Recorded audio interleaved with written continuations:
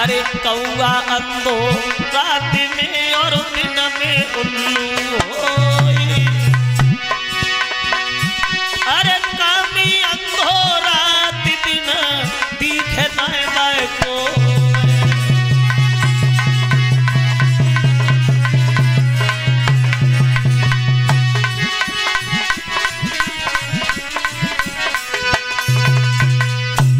पागल हो गया पवन रेखा की तंदुरुस्ती को देख के। बोले, होगा, वो देखा जाएगा, लेकिन हम इससे मिलेंगे, ज़रूर चल, ज़रूर करें। अब उसके पतिव्रत धर्म को नष्ट करने के लिए उस राक्षस ने एक महा अपनी माया दिखाई। आंधी तूफ़ान मचाना शुरू कर दिया। पवन रेखा की जो सात वाली सहेलियाँ थी, भक्तों, वो सब बिछड़ गई। अकेली पवन रेखा रह गई। डर की वजह से पवन रेखा थर थर काँप रही है, रो रही है।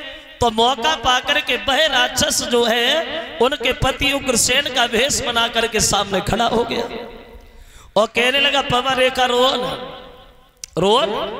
अरे रोने से चिल्लाने से क्या फ़ायदा? अरे तुम्हारा पति तुम्हारे सामने खड़ा है। तुम्हारा पति तुम्हारे साथ है पर डरने की क्या बात है, है? अब पवन रेखा नहीं पहचान पाई ये मेरे पति या राक्षस है। अब उग्रसेन का भेष बना के वो राक्षस बोला पवन रेखा चिंता को करती? और बोले तो बोला है प्रिय रुधन छोड़ो। ओ हाजिर है तेरा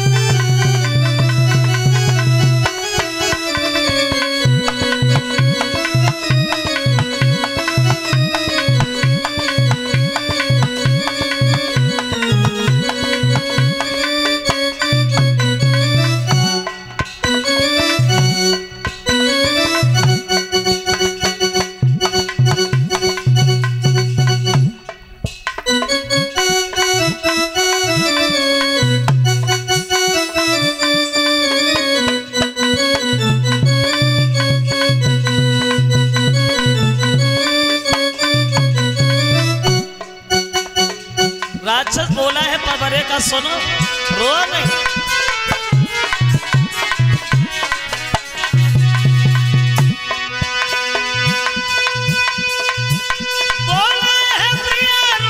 है हाजिरी है तेरा अब मेरे देखे तो अब कौन भला है मत वाला